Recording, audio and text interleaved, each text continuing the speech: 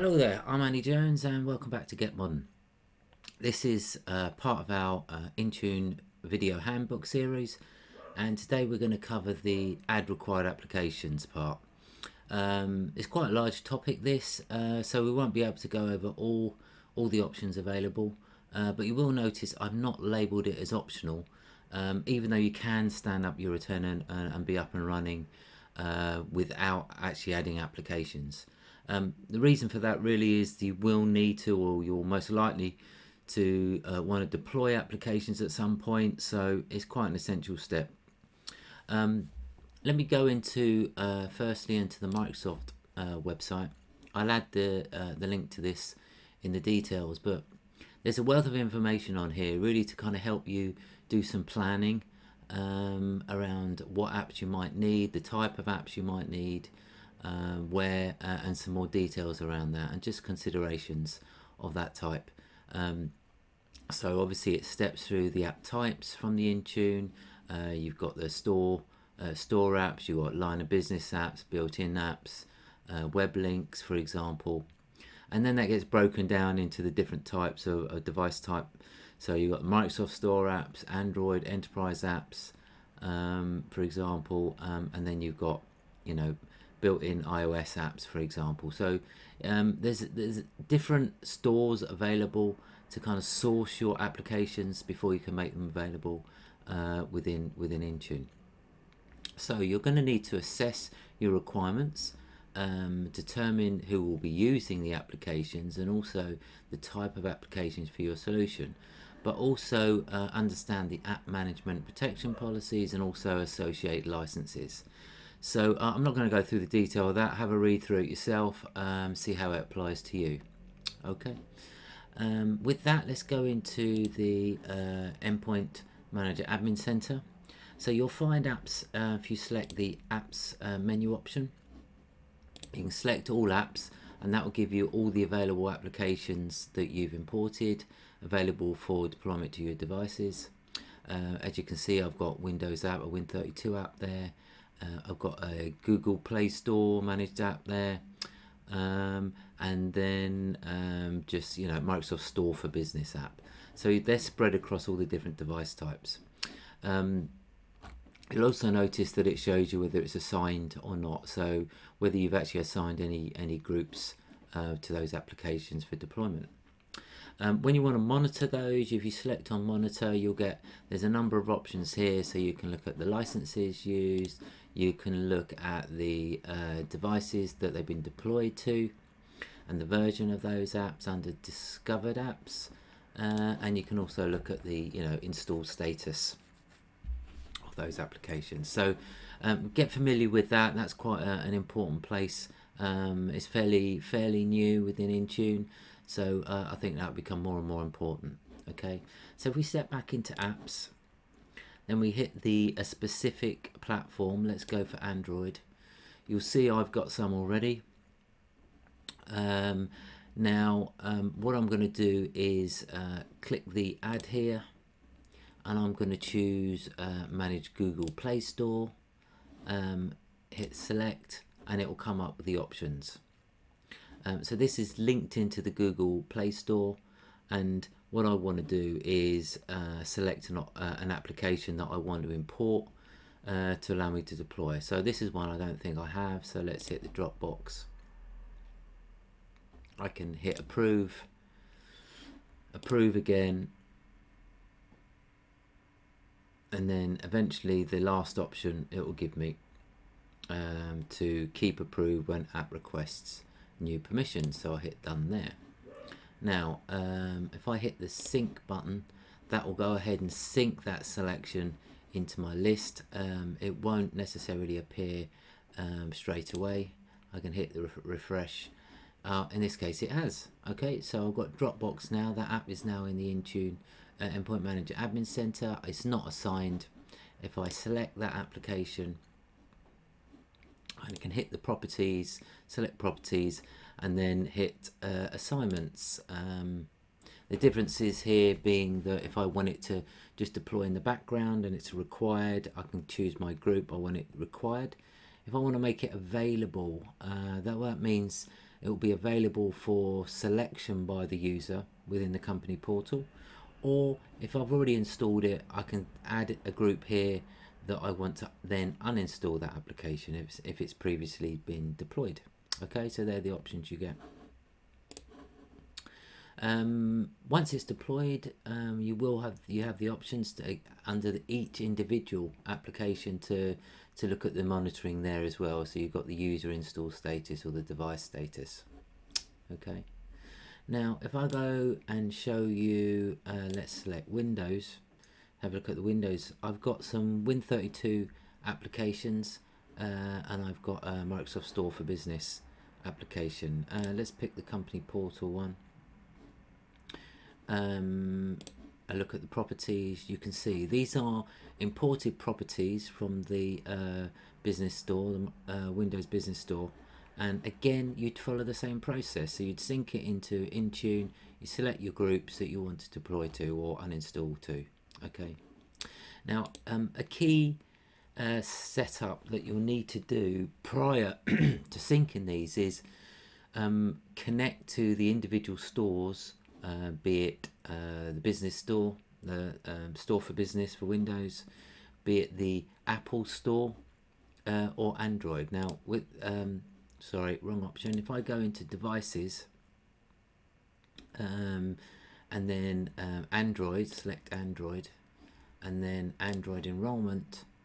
You'll see there's an option here prerequisites okay? So if you hit that there's some settings you need to uh, create here. So you'll need a, an account um, and you'll go through a wizard. So you hit the agree uh, for permissions and then you'll go through a wizard when you hit the launch Google to connect now. Um, once you've set that up effectively what you're doing is giving permission for those applications to be synchronized back to Intune. And the benefit of that really is that you're then being able to manage the allocation of those those applications from just within your endpoint manager admin center. Okay? A similar story really happens when um, when you want to connect uh, iOS or iPad apps um, and you hit the iPad enrollment, you'll need to connect with your uh, Apple Business Manager to the Apple Store. There's a number of things you need to do, follow in order to get that set up. I'm not gonna I'm not gonna create it here um, or, or go through it here. We'll do that in a different video. But essentially, again, you're synchronizing to the Apple Store and then you're importing and synchronizing those applications for the, for deployment. Now, from a Windows perspective, um, you to connect to the store for business, you go into tenant administration, connectors and tokens, and then it's here that you act you'd activate, um, create the activation, hit the enable, um, and then you go into the open the business store. So I've got mine open here. So you go in the, the Microsoft Store for Business, and within here um, you can then go and search for an application, manage those applications and make them available. There are a few settings you need to set up initially um, before you can actually connect. So the purpose really of, of this store for business and going through this process is that you are connecting this and making it available in the same way you are for the other platforms uh, with Intune. Um, if I go into dist distribute for example, you will need to add a management tool. For example you've got the Intune and Intune enrollment here and then you'll set them to activate okay? Um, to actually see the applications you've imported you go to manage um, manage applications. And these are the list of applications that you've uh, you've made available and you're going to synchronize. Um, and if you wanted to um, uh, find another one you'd literally go into the store and um, do a search. I'm going to go across the top here, just put in Microsoft, and then so for example, it may be that you want to do, I don't know, to-do list, for example. So you select that app, it's free, so you've got unlimited licenses available. Um, you select the, the license type, um, and then you would um, hit the install button okay um, when you go back to your go back to manage um, and then the manage apps, it will appear in your list. Okay, or will eventually appear in your list, and they are. Um, then you're not quite made them available for your users yet, but you've added them to your your private uh, store for business. All right. Then what you want to do is go back into your uh, Endpoint Manager Admin Center, go back into tenant administration, connectors and tokens, and then where you've got the Microsoft Store for Business at the top there, you hit the sync button. And the sync is then going to take that selection of applications you've you've added and sync the, synchronize them into uh, your apps list okay and make them available for for deployment so that's um, you know a quick whiz through um, how the platform types and how you uh, you need to import those applications. This doesn't go into the detail of the different types. If you want to do a, um, add a Windows app Win32 application, for example, I'll go through that. Um, you'll uh, pick a Windows app 32. Um, and this is basically where you've got you know a custom in-house Win32 application, or it's uh, you know an application that you've downloaded. So 7-zip, for example, is a zip application that I've uh, got the source code for. And what I'm gonna, what I can do then is kind of wrap that up. Um, I can select uh, an Intune, uh, uh, an Intune package for it, um, and then import that into um, import that into the store, uh, into my options for applications. Now, I'm not going to kind of go through the whole process because that can be uh, take some time, but um, what I will show you is the settings that I've got for one already. Um, so if I look at the properties for 7-zip, for example, you know, I've got the versions in there, um, and I've imported the actual source code but there are also some detection rules uh, that you'll need to set up and these are specific to the application. So you may need to go to the website and find out what they are first.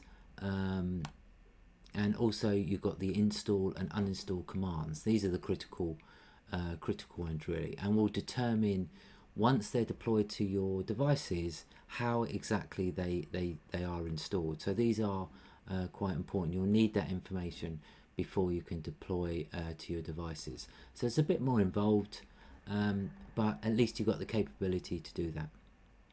Okay. Um, so um, you've got that. Let's have a look at um, a different type of application. Um, if you just want to do the the standard Microsoft 365 app, um, you can do that you can hit the under the title there um, select Windows 10 and you'll get the options okay? So if I select that automatically you get because um, it's integrated with Microsoft and Intune the the details already kind of populated for you. So um, in essence what you need to do is literally select a category um, then go into configure the app suite. So you've got a selection of applications under 365 um, and what you can do is actually select which ones you want to uh, make available. So I've got quite a few there, but um, you might only want one. You might only want Excel, for example.